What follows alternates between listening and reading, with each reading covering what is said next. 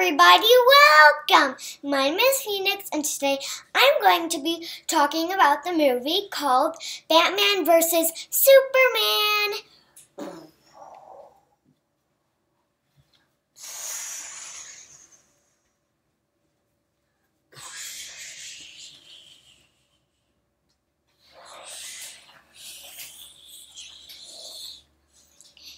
Overall, I kind of like this movie. The reasons why I like this movie is because there's a lot of cool action parts. And also, I liked it when Superman had its fire eyes and it went like this. The other part I liked about Superman is when Superman saved his girlfriend a whole bunch in this movie, and her name is Lewis Lane. I meant Lois Lane.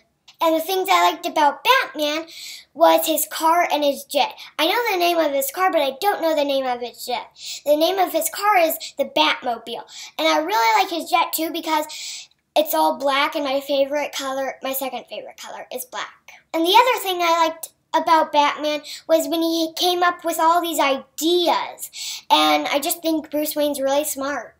I really liked all the fighting scenes and the cool um, action parts and what do you call it the um, special effects and but my favorite part of the whole entire movie was when this new superhero came up and i didn't even know she was going to be in this movie and yep you guessed it, it's Wonder Woman. Oh yeah, baby. And she was kicking serious butt out there. And she had like this golden sword and she was chopping things up like this and she had like this magic rope going on, and it glowed in the dark, and she was wrapping things up and um, tugging on it like this, and it was amazing.